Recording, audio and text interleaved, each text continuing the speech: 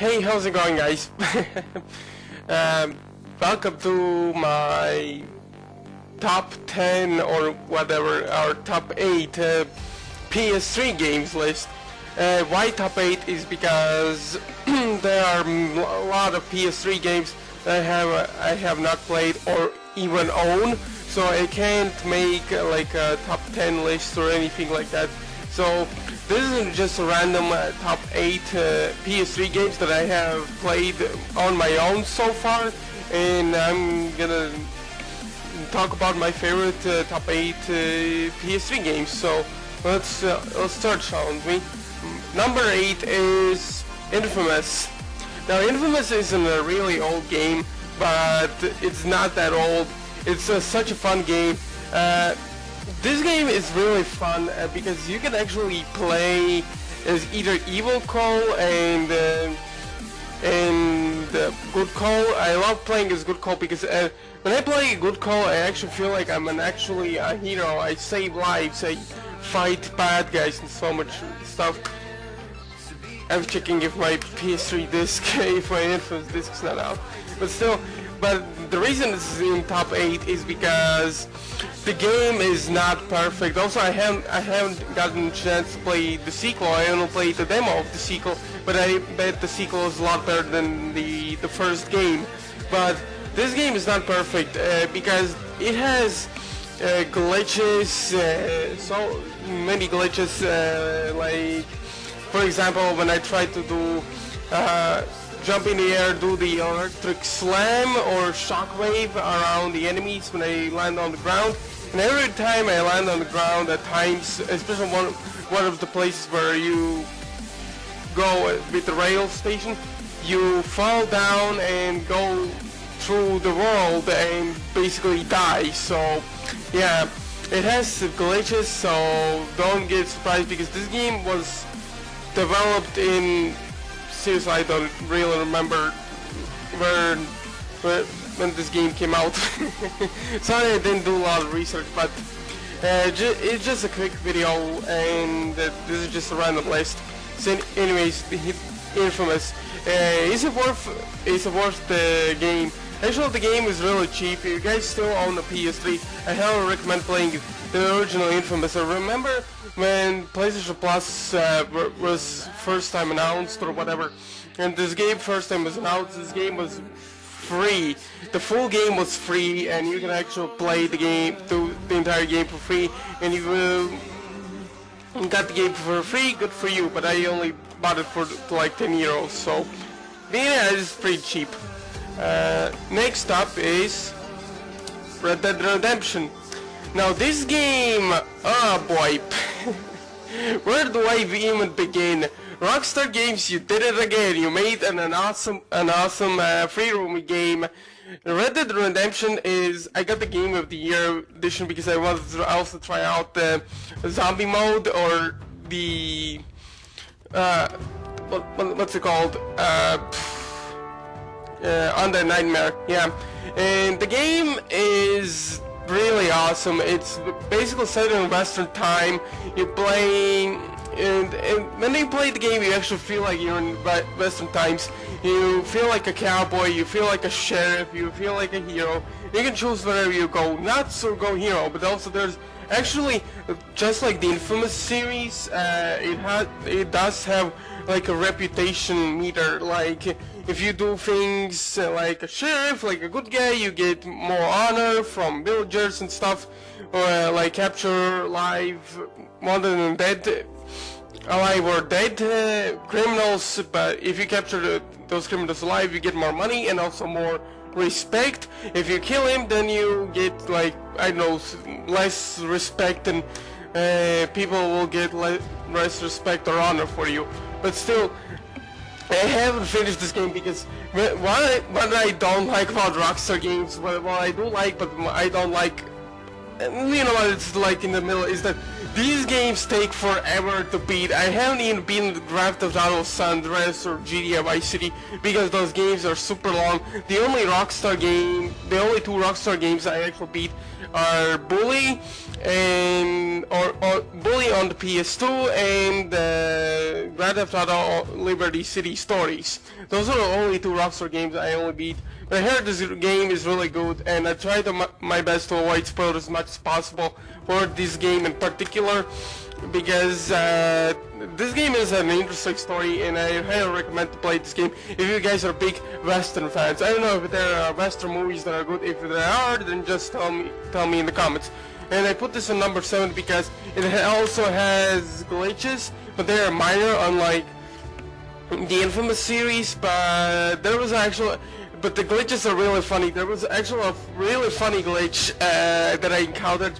Um, in the tour of the game. Uh, oh, too bad I didn't fucking uh, record the game because uh, I don't have a recording device to record PS3 games, so apologies for that. But there was a funny moment in the game that I called for the horse when I did the the main mission of the game, and I called the horse. The horse was up on the cliff. Then he just just randomly flies down right on my back and then just like I'm like what the fuck happened? And then just the, the, the horse lands on water. The water is not even big and the horse dies. Yeah the horse dies in, in the water. And I have to call a new horse. I, I was la laughing so hard during during this game but still, I highly recommend, if you guys are big Rockstar fans or big Western fans, I highly recommend to play this game. Try it out for yourselves. Unfortunately, the game is only for PS3 and uh, Xbox 360. Uh, there is no PC version and there are no EG, so-called HD remasters for, you know, PS4 and Xbox One. But you know what, through next generation consoles, I'm happy with my current console. Next up, number 6, Ratchet & Clank, Crack in Time. Now, I'm a huge, I'm a big Ratchet & Clank fan. The very first Ratchet & Clank game I played was Ratchet & Clank Up Your Arsenal.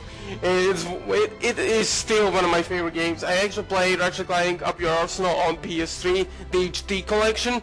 Now there are minor glitches for these HD collections, but they are minor, but the game still plays fine. If you guys can get past of these minor glitches for Ratchet & Clank HD collection, then yeah, I highly recommend play these games. But anyways, yeah, Ratchet Clank Crack Type. It's one of my second favorite Ratchet and Clank ga games from the entire series.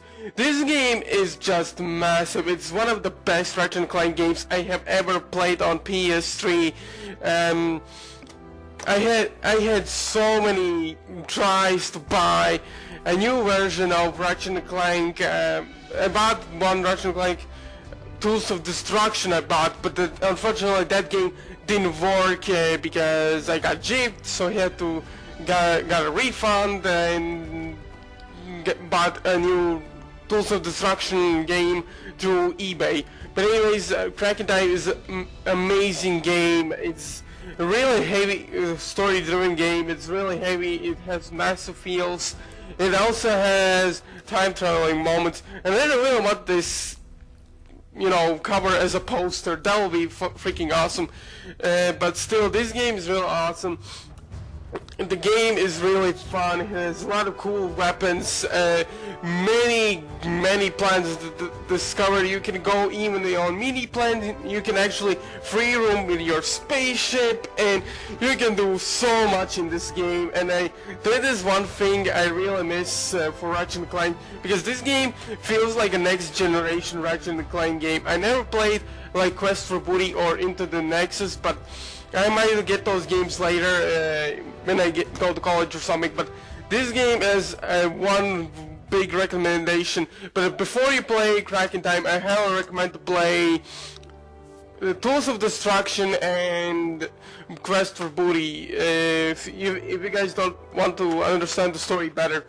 But anyways, uh, this game is just awesome. Next up, number five yeah, number five. Batman Arkham City. Yes, I know this game is for PC, so shut up.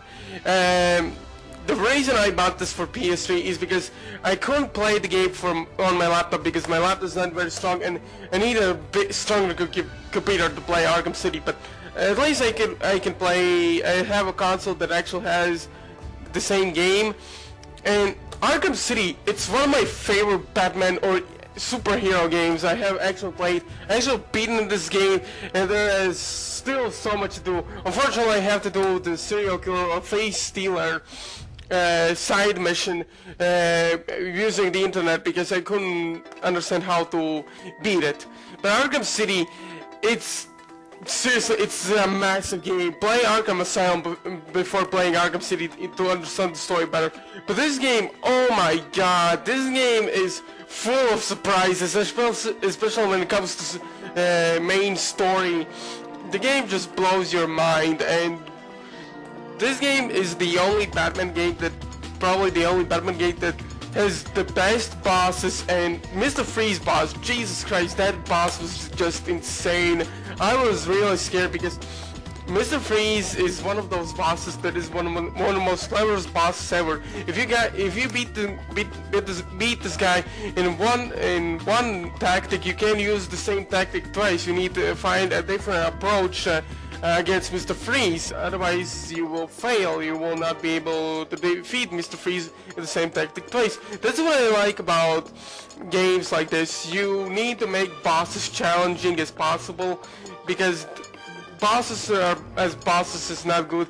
Uh, I haven't played this game for like six months. I just started playing this game again, and I really suck at this game, especially when it comes to combat. But this game is really hard, and especially probably when you play the game on New Game Plus. I I will not play New Game Plus until I master this game properly. But yeah,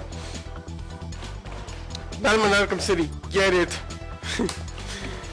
Next up is Metal Gear Solid HD Collection. Yay! Yes, the game, the, all these games, uh, especially Metal Gear Solid 3 and 2 are on PS2 and Peace Walker is on, you know, on PSP, but I got the HD collection because I never played the original Metal Gear Solid games. The very first game uh, I played, this is on top 4 by the way, I should have put it on top 3, whatever, but it, the first Metal Gear Solid game I played was Guns of the, Metal Gear Solid 4 Guns of the Patriots this game is one of the first Metal Gear Solid games I ever played, but I really enjoyed it, so I wanted to play other Metal Gear Solid games. Uh, I've tried to find out what's so great about these games, and I found out why they're really fun and enjoyable to play, and the story is in these games are real story-driven games. Uh, Hideo Kojima really uh, outdid himself with uh, with these games. Metal Gear Solid 3 Snake Eater, it's there, isn't it? I keep uh, forgetting. Uh, it's one of my favorite Metal Gear Solid games. I I can't believe I never played Metal Gear Solid, Solid 3 Snake Eater on PS2. I could I would have really enjoyed it, but at least I, I really want to thank Kojima and no, I'm not gonna thank Konami because screw them. But I really want to thank Kojima uh, for making these games. I, the Metal Gear Solid 3 is the only old school Metal Gear Solid game I've beaten. Metal Gear Solid 4 is also the game I've beaten. Um, but I haven't beaten Metal Gear Solid 2, the original Metal Gear Solid that I just got from PSN, and Peace Walker. Peace Walker, because uh, the classic 1999 Metal Gear Solid game is you know from the PS1 it's really challenging. I, because I really got used to third person camera perspective. I I can't get used to you know the top thing because the uh, you know the characters on the, on the bottom and it feels like you're playing chess with a gaming character. But still I highly recommend to get this HD collection. Uh, I like I said I, there are many many PS3, PS2 games I haven't played, especially the exclusives. Metal Gear Solid is one of those games, and I'm glad I've finally gotten the hold of uh, Metal Gear Solid games. And number three, Metal Gear Solid 4, Metal Gear Solid 4 Guns of the Patriots. Another Metal Gear Solid game, but this is an exclusive for PS3. And this game is one of the funnest games I have played I'm not gonna lie, I, I really think I, I, I am really thinking to play this game again on hard difficulty. I'm doing doing it for Snake Eater, and Snake Eater is one of my favorite because it's more fun than Guns of the Patriots, but Christ, Guns of the Patriots, it's one of my first Metal Gear Solid games I have played, And the only time I discovered Metal Gear Solid franchise was when I saw the trailer for Metal Gear Solid 4, saw the IGN review for uh, Metal Gear Solid 4, Guns of the Patriots. Man, that's a mouthful.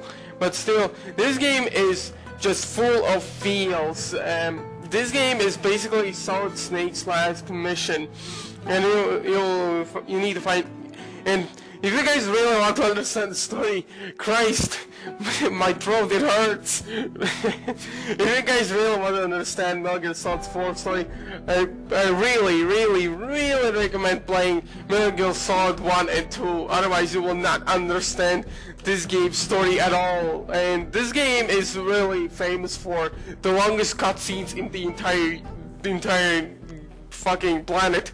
But still, Metal Gear Solid 4, I highly recommend getting it. I know there's uh, Metal Gear Solid 5, Ground Zeroes, and Phantom Pain, but a lot of people don't like these games. But I am thinking to get Ground Zeroes at one point to, to test out why do people don't like uh, the original, you know, these new Metal Gear Solid games, but you know what, I'm gonna buy Ground Zeroes if I have time and I will try to test it out, but still, Metal Gear Solid games are really awesome, and let's get get, get a move on because I'm talking too much. Um, next up, number two, my personal favorite, one of my favorite Naughty Dog games, Uncharted 2, Among Thieves. Yeah, Among Thieves. God damn it. Uh, I'm never good, good with titles. I wish I had had a better box or cover or whatever for Uncharted 3 because that platinum cover looks, that bottom box looks ugly as hell. Christ. God damn it. But still, um, I don't know, you can change the box art, I don't know. But still, Uncharted 2, I, the first Uncharted game I played was Uncharted, uh, the first Uncharted game, Drake's Fortune, I think it was called. And that game is was okay, but unfortunately I didn't like it as much as I liked Uncharted 2. Uncharted 2 had the best graphics, had the best gameplay, had the best story, had the best villain. The game is just huge. I tried to avoid as much spoilers for this specific game because um, for some reason I get bored watching Uncharted playthroughs. The only time I get, enjoyment from games is when I'm playing them myself. And when I played Uncharted 2 for myself, this game just blew my mind. This is one of those games I really highly recommend if you guys are big PlayStation fans, big Naughty Dog fans or whatever. I really recommend playing this game for yourselves to fully enjoy the experience. This game is huge. This game is just wow. And this game is and knowing Naughty Dog, this game is challenging because damn Naughty Dog, you and your stupid challenges. Oh boy. They're real famous for challenge making difficult games. I'm looking at you, Crash Bandicoot 1 and Jak 2. Yeah, those games are difficult. Don't don't believe me? Try beating a Crash Bandicoot 1 on hard on 100%. If you guys beat Crash Bandicoot 1 on hardest on with 100% completion, then you got you sir are a legend because nothing else I have to say. So, what else to do? Yeah. And number one, obvious one, The Last of Us. oh boy, The Last of Us. Oh my god, I looked for this game for like eternity. I searched for this game for like everywhere. In my country they didn't sell Last of Us for PS3 for some reason. They sell it only for PS4, you know, the remastered one. But what's the point of buying a PS4 and a remaster? You know, if you if you already own Last of Us for PS3 and the game plays fine as it is. But Last of Us, oh my god, the first 10 minutes feels. God damn it, the major feels. This game is very famous for breaking people's hearts and this game takes strategy. It's basically like Metal Gear Solid, just zombie edition. Gear Solid, that shit was bullshit. but still, um, this is a zombie game, duh. But it's not one of those typical zombie games. It, it takes a zombie, you know, perspective, you know, the infection thing more realistically, and the story is really interesting. Basically, I talked about this game review or whatever, but I talked about this game. Basically, the game is about main character Joel, who, uh, man, I can't talk about this game without mentioning spoilers, but this game is highly recommended and it has a fun multiplayer. For some reason I can't play the multiplayer.